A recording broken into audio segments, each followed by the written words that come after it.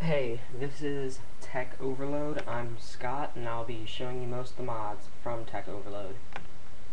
I'm going to be showing you how to mod your gamer score. You can mod it as high as you want on an Xbox Live account, but just to warn you, if you get up to about, I'd say 200 to 300,000, they'll start to recognize that you did not do most of it, and they will ban you. So I have no responsibility over that if you get banned.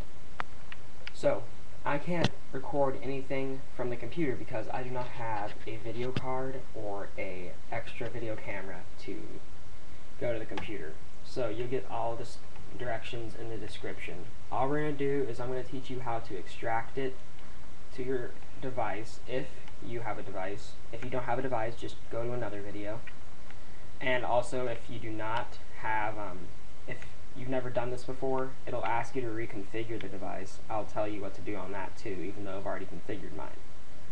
So what we need to do first is we need to go down to System Settings. Click A, and you're going to want to go down to Memory. Click A on Memory, and you don't want to go to this just yet, you want to go to Hard Drive. Go to your gamer profiles. You can see, I have a lot of gamer profiles. I even have one for Modern Warfare 2 for a modded gamer profile. I've got my I modded my friends a little bit ago. I got all my gamer profiles. So, you want to pick the one you're going to mod, and that would be, for me, Tech Overload. Now, you won't be able to do this with the device. Like, see how I'm moving it? It's already configured. If it is not configured, it'll ask you to configure it, press yes. Once it's done, press OK.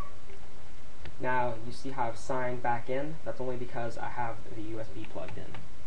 So now, just to be safe, you gotta check, and there it is. It's in here. Now, what you want to do is you want to pause this video, and you want to go to the description and look at all the instructions for the computer part. And then unpause it, and then you'll go to my part again. Okay, so once you have your gamer score modded, what you're going to want to do, you want to go back to memory, games, or gamer profiles.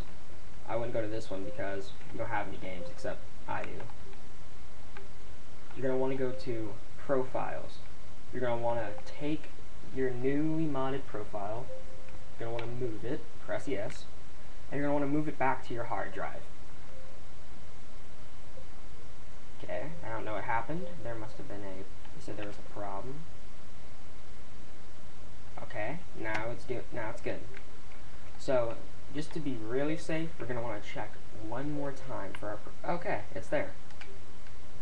Now, we want to go back.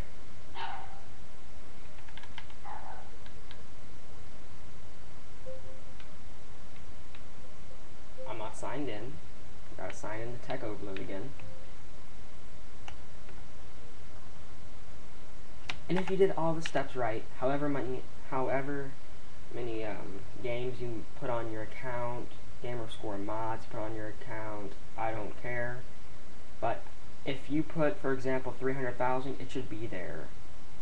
So, I hope you enjoyed the mod, and I'll be back in a uh, in another video on probably how to do an avatar mod, or how to do a um, Modern Warfare 2 mod, even though Black Ops came out last Monday or Tuesday.